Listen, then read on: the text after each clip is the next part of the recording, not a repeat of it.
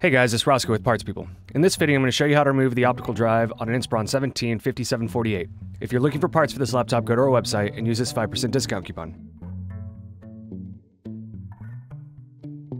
Slide the latches over and remove the battery. Remove the optical drive screw. Remove the optical drive. Are you looking for some more tutorials? Check out these other videos.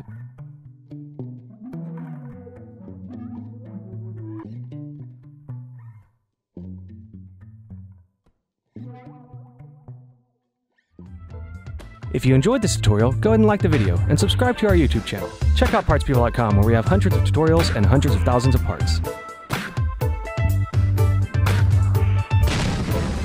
Thank you for using PartsPeople for your video tutorials.